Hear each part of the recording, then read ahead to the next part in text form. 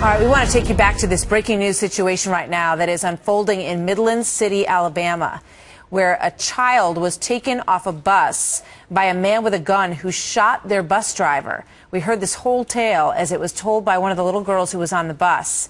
We want to listen to this brand new audio that we have of the police scanner while this unfolded. Listen to this.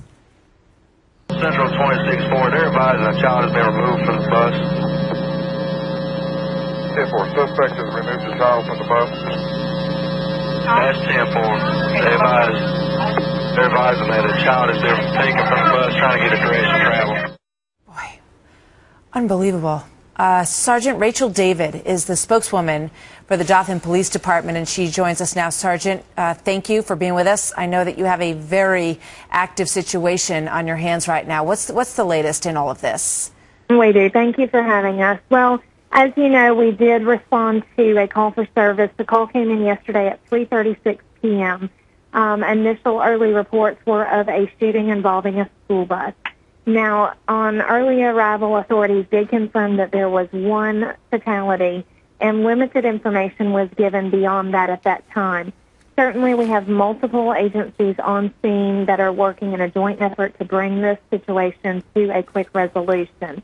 We have now um, evacuated the immediate area around uh, the incident where the command post is located.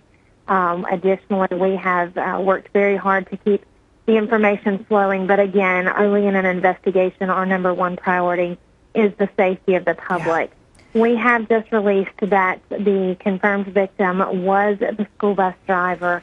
Uh, we extend our deepest sympathies to that family. Uh, we have confirmed the identity of the victim as 66-year-old Charles Albert Poland Jr. Mr. Poland was employed by the Dale County Board of Education in 2009 and was acting in official duties yesterday when fatally shot. Um, unfortunately, just a tragic situation and one that we are still working to resolve. Yeah, Sergeant, I mean, your heart breaks for that man's family. As you say, 66 years old, uh, been driving that bus for about four years. And the story that one of the little girls told was that this man got on the bus and said to the bus driver something to the effect of, I need a child. And he said, he said no and then he was shot. So, I mean, he truly is a hero. He was trying to protect the children on his bus. He, he said absolutely not, or whatever, you know, his response was. He said no, according to that eyewitness on the bus. Now, now let, us go back to the scene that we're watching here live. We can see the SWAT teams. Uh, it was reported earlier that there is some sort of pipe that goes down into this underground bunker through which the police are talking to this man who's holding this six year old child. We have not released any specifics about the layout of the area that we are working in. Um, certainly, we do have safety considerations and tactical considerations. And because we are so early into the investigation that is an ongoing incident, we do have to limit the information um, that we are giving out. But again, just ask everyone to keep this situation in their thoughts. Is there a medical condition that this child suffers from? Because there were also reports that, that he was that the man did concede to allow this child to be given medicine. The only thing we have confirmed about the involvement of the child is, is that there is a child involved in the situation. We have not given any information about the I child, understand. any specific. I, I, I completely understand. Right? And yes. you understand me asking, I'm sure. But I just want to ask you one more thing. Do, what's your? Does this man have any criminal record? What do you know about the about this this suspect?